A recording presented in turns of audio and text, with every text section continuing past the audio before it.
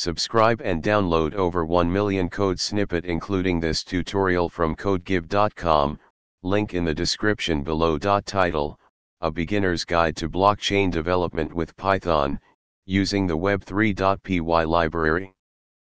Blockchain technology has gained significant attention for its decentralized and secure nature. If you're looking to dive into blockchain development using Python, the Web3.py library is an excellent choice. Web3.py allows developers to interact with the Ethereum blockchain, making it a powerful tool for creating decentralized applications, dApps.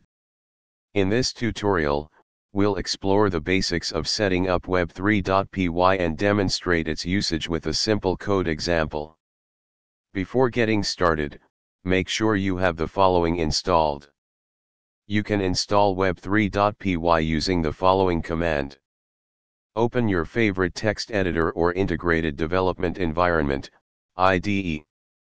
Create a new Python script, example blockchain underscore tutorial.py.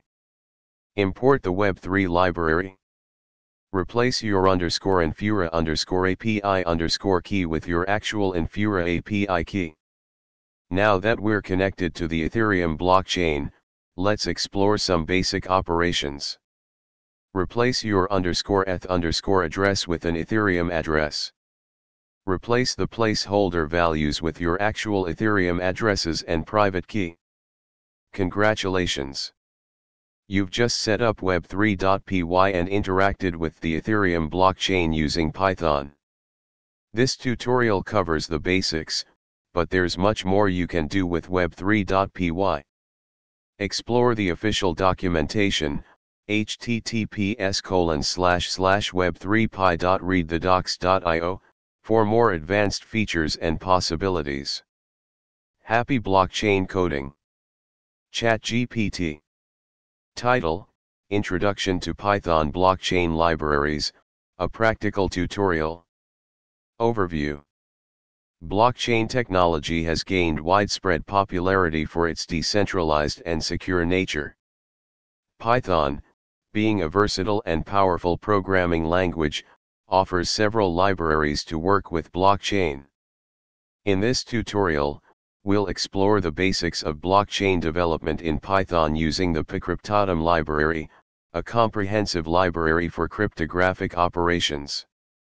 Prerequisites Installation Before we begin, you need to install the PyCryptodome library. Open your terminal or command prompt and run the following command. Creating a simple blockchain. Now, let's create a basic blockchain using Python and PyCryptodome. We'll implement a simple blockchain with blocks containing a timestamp, data, previous hash, and a hash. This example creates a simple blockchain with transactions and demonstrates how to mine new blocks. Conclusion This tutorial provides a basic introduction to blockchain development in Python using the PyCryptodome library. From here, you can explore more advanced concepts such as consensus algorithms, smart contracts, and decentralized applications, dApps, to deepen your understanding of blockchain development. ChatGPT